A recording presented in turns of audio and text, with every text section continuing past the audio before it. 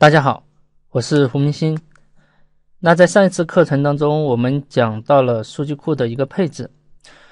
那这节课当中呢，我们将继续去了解 Django 里面的一些新的知识点。那这节课呢，我们会去了解到 Django 里面的 ORM 的这样的一个机制。ORM 的这个词语的话呢，可能很多同学是第一次去听说。那这样一个技术是一个什么样的技术？那大家在学习 MySQL 的时候，可能会有操作数据库的一个经历。那你们在操作数据库的时候，你们是如何去操作的？那你们是不是要写 SQL 语句，对吧？比如说 select，或者是 insert，或者是 update，那这样的一些 SQL 语句，然后去操作数据库里面的那增增加、删除、修改、查询的这样的一些操作。OK。那 ORM 是一个什么样的东西呢？那在之前的课程当中，其实我有大有给大家去提到过啊，提到过。那就像我们之前所实现的这样的一个代码，我们在去查询我们的这个网页的时候啊，是没有写任何一句 C 克代码的，对不对？啊，没有去写任何一句的 C 克代码。但是呢，我们可以去查询到数据库里面的这个内容哈。为什么我这个地方的这个地方没有内容啊？没有内容的话呢，应该是在之前的啊之前同步了数据库之后，我这边是没有去创建超级用户，对吧？Create super user，好，我这地方把超级用户再重新的创建一下。因为你没有创建用户，所以那个表里面呢是没有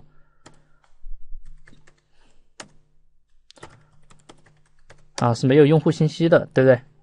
好，这样把它创建了这个相应的信息之后的话，我再来查询一下。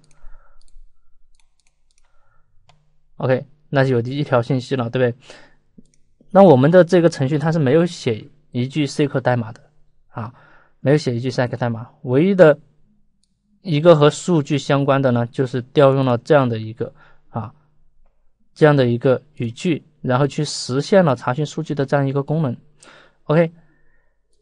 那这样的一种方式哈，这样的一种方式，和我们原来用 SQL 去操作的方式是不是有很大的一个区别啊？这里有一个图啊，这里有一个图，我们原来去操作数据库的话，那这是好好。就像是我们的一个数据库，我们是直接在这里面去编写 SQL 语句，然后去执行。那有了 ORM 的这样的一个机制之后，我们去操作数据库，不用去写 SQL 语句，而是直接通过对象的方式去操作它。OK，好，所以我们有了这样一个定义。好，我们我们的这个 ORM，它其实是指的一个对象关系映射，对象关系映射。这个地方提到的对象关系映射，那简称呢？OIM 啊，简称 OIM。这种操作方式，它是用面向对象的编程语言去不同类型系统里面的数据之间去做一个转换，什么意思啊？什么意思？我这地方给大家用了一个。更加简洁的话去描述它，就是用面向对象的方式去操作数据库里面的数据啊，比如说你去创建表，或者是去增加，或者是删除，或者是修改，对吧？你不用写 SQL 语句，而是直接通过面向对象的方式啊，就像我在这个地方去调用了一个 user 的模型类，然后通过它去查询，好，调用 or 的方法去查询了所有的数据，OK。那其实这个 ORM 的机制的话呢，它的一个运行原理啊，运行原理，它会帮我们把相应的 SQL 语句啊，不是 SQL 语句哈，把相应的这个 ORM 的语句翻译成 SQL 语句，什么意思呢？这地方有一些技巧，我们可以查看到它所生成的 SQL 语句的代码。好，第一种方式，我们可以在 query set 里面去调用一个 query 的属性，可以查看到它生成的 C 语句。那比如说这个地方，我们可以哈把前面的这个 print 先给它删掉。好，我们可以 print 那 user list 点 query，那我就可以去查看到它所生成的一个 C 语句。OK，我们来看一下是不是这样。好，刷新之后，刷新之后，我我们在这上面发现了一条 C 语句。那看一下这条 C 语句。好，我可以把它复制下来。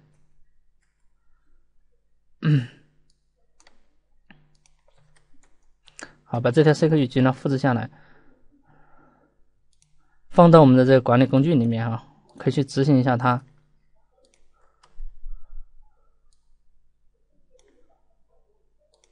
好，运行，那你会看到它能够查询到我们刚才的这条数据记录，对不对？数据记录。好，这条 SQL 语句的话呢，其实就是一个 Snake 的语句啊，Snake 的语句。这个 Snake 的语句的话，它生成的是 Snake，然后很多字段，然后 from 某一张表，对吧？就是从我们的那个用户表里面去查询啊，查询。OK，所以 OIM 的一个运行的机制哈，它是通过你面向对象的方式去编写程序，但是呢。在它实际的执行过程当中，它还是会把你写的这个面向对象的数据操作的这些语句啊，翻译成对应的 C 语句，然后把这个 C 语句发到数据库里面去执行，然后再返回结果。所以它的过程是这样子的啊。只不过呢，这个 C 的细节，C 语句的细节呢，它是封装起来的，默认情况之下。我们是不需要去了解它的，但是我们可以通过一些属性，比如说 query 的属性，去把这个这个 C 语句调用出来，或者是，好，还有一些方法啊，还有一些方法，我们经常在用的时候，可能为了方便去看它的这个 C 语句，去分析，我们呢还可以在日志系统当中去配置，让。我们的 C 语句显示到控制台，啊，要配置日志系统的话，哈，我们 可以去详细的去看它的官方文档啊，这个在后面呢有所介绍啊。但是，如果是我们仅仅是要把 C 语句输出到控制台来显示的话呢，我们这样去配置就可以。你们可以直接把这一段代码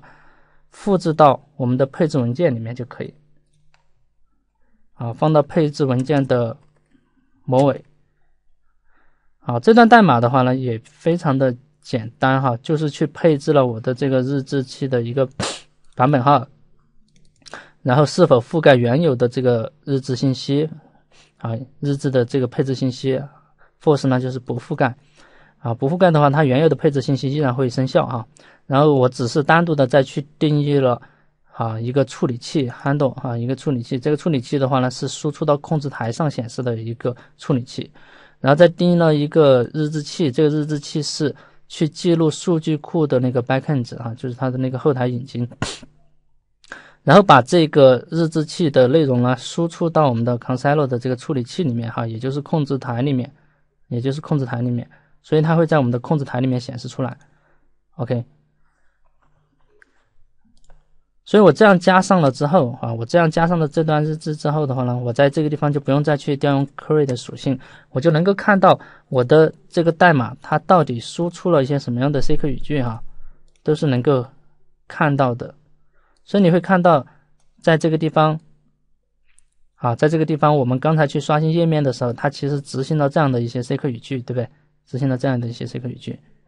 啊，不光是你自己写的代码，你在那个管理后台。在这个管理后台，你也是可以看得到，我们管理后台它所执行的这些 C 语句，也是可以在这个控制台里面看得一清二楚。OK，你会看到我们的这个管理后台进去的时候，那它执行了相应的哪些的 C 语句，对吧？啊，非常多哈，非常多。OK，好，这是。我们去如何查看哈 OIM 它所生成的这个 C 语句哈？为什么要去查看这个 C 语句？因为我们有的时候要去分析它生成的 C 克语句是否合理，或者是是否正确，对不对？啊，能够帮助你去分析和理解 OIM 和 C 克语句之间的一个关系。除了前面提到的这两种方式去查看 C 克语句之外，哈，我们还可以用一些工具，哈，这个工具比如说像 Django 里面的一个调试的工具，啊，Django Debug Toolbar，这个工具的话呢，好，我们这节课不会讲。啊，在后面的内容呢，我会给大家去讲到这些东西啊，所以大家可以先提前去了解一下。OK，好，在大家了解了这个 OM 的定义和它的一个运行机制之后，哈，我们再来了解一下它的一个优缺点。OM 的一个优缺点的话呢，好，我们首先来看优点，啊，来看优点，它的优一个优点就是让我们的。数据库交互的过程呢，变得更加简单了啊，更加简单了，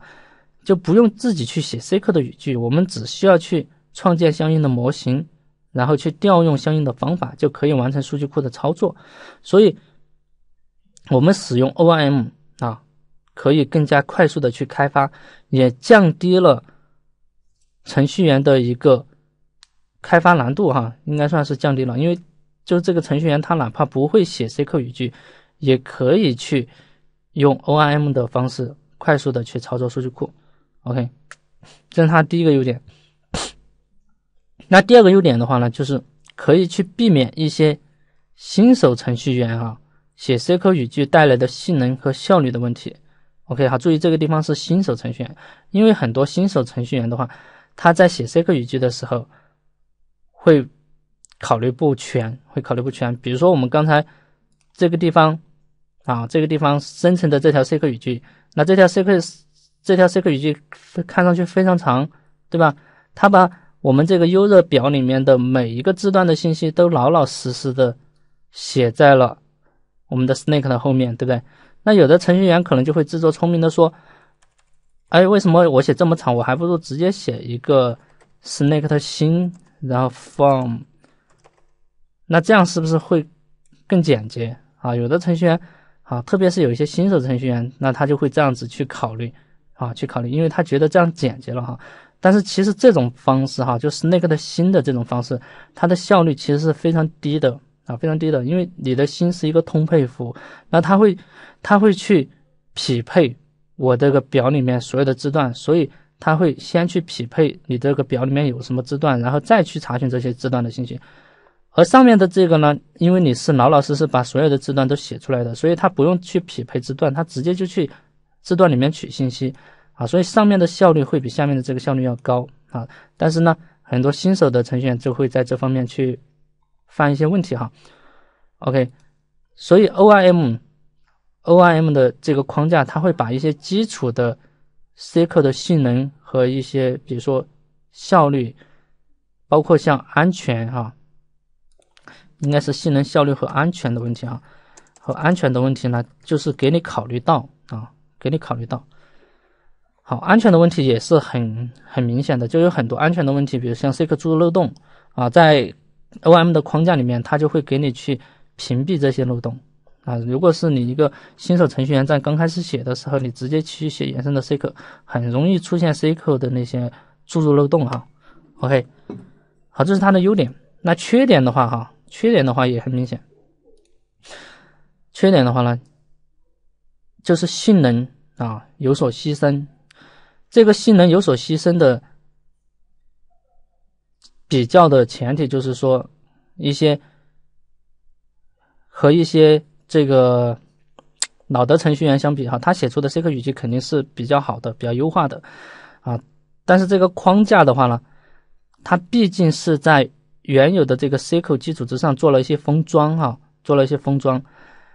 啊，要通过这个 O M 框架去生成 C 口语句，所以它会多一个过程啊，多一个过程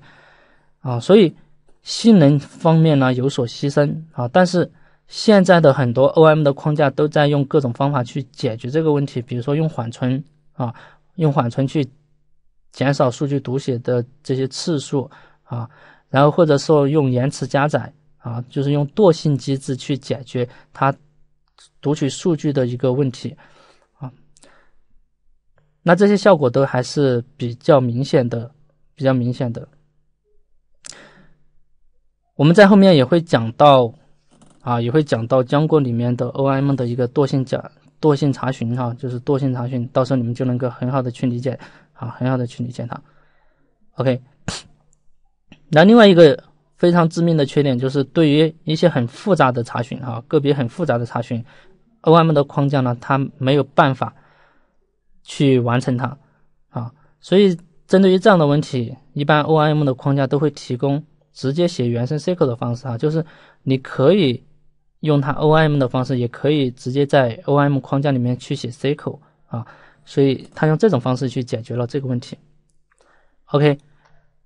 这是这个 OIM 这个东西哈，对象关系映射的啊，对象关系映射的这样的一个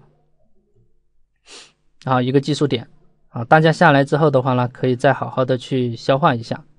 好，谢谢大家。